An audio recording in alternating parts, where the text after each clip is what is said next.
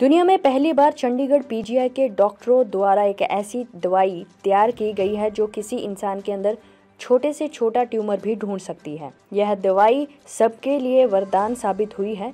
यह दवाई चंडीगढ़ के पीजीआई के अलावा दुनिया के किसी भी हॉस्पिटल में उपलब्ध नहीं है। पीजीआई के डॉक्टर रमा वालिया और डॉक्टर जया ने बताया है कि यह दवाई जिसे इंजेक्शन के थ्रू मरीज़ के शरीर में दाखिल किया जाता है और ये दवाई वहीं जाकर काम करती हैं जहाँ पर छोटे से छोटा ट्यूमर होता है, क्योंकि ये ट्यूमर एमआरआई में भी नज़र नहीं आता है। डॉक्टर्स ने बताया है कि इस दवाई को पूरी दुनिया में बनाने का हमें ही मौका मिला है और इस दवाई से हमने अब तक चौंसठ मरीजों का इलाज किया है, जो कि सभी स्वस्थ, बिल्कुल स्वस्थ पाए गए हैं।